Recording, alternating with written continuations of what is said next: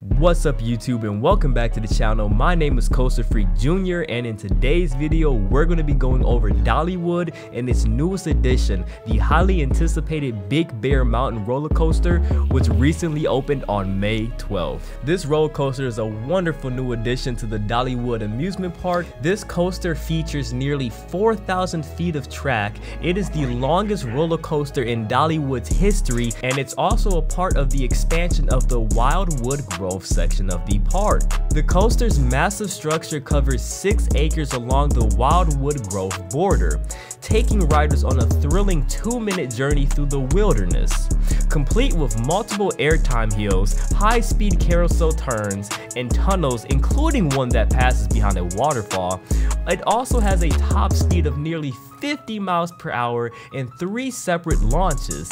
The Big Bear Mountain Coaster also features onboard audio that matches the ride's dynamic movements. The coaster was designed by Vekoma, a Dutch amusement ride company known for designing several rides for Disney parks, including Walt Disney World in Florida. With an investment of $25 million, it is the largest investment for a single attraction in Dollywood's history.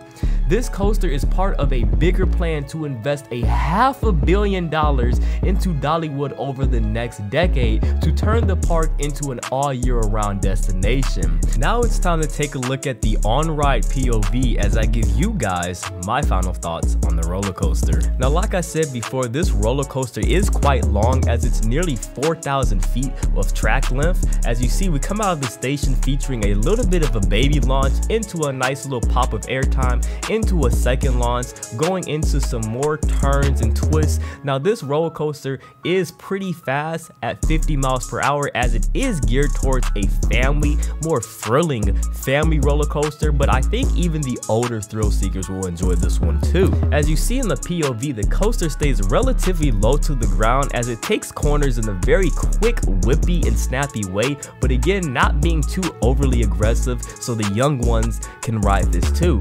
Again, I really love the layout. It's very scenic and it's very beautiful as we come into our third launch here, going up for a little bit of a floater airtime moment down and around this corner, picking up some speed, back down again into a little bit of a baby helix. Well, not even a, yeah, a baby helix here. Some good pops of ejector airtime is on this coaster too. Not too much floater, but again, even the ejector airtime on this coaster is not overly aggressive. So I think this is a perfect family but yet thrilling roller coaster ride. You guys definitely have to let me know your thoughts of it. Have you been on this roller coaster yet? Do you want to go on this roller coaster? And if so, will you be taking a trip to Dollywood to ride it for yourself in person? It's been your boy Coaster Freak Jr. Definitely let me know your thoughts and opinions down below in the comment section. Don't forget to drop a like, subscribe to the channel, and turn on post notifications. I'll see you in the next one.